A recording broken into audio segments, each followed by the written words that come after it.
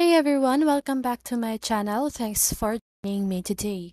And for those of you who are new here, on this channel we share helpful tutorials and how-to guides.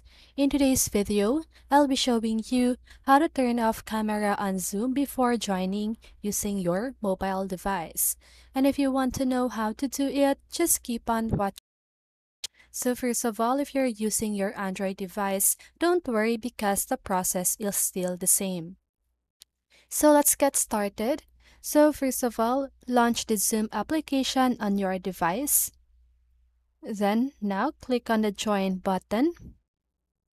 Now before you put the meeting ID or the join with personal link name, you can just go ahead and scroll down and you should see the join options section.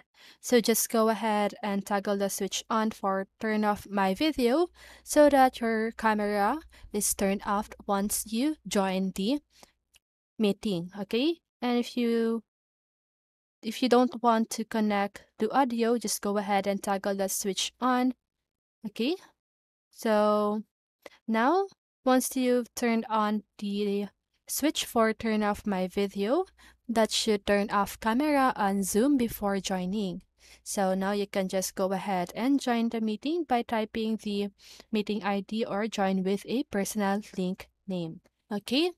And that's it. I hope this video helped you. And if it did, make sure to like, subscribe, and hit the bell notification so you won't miss a video.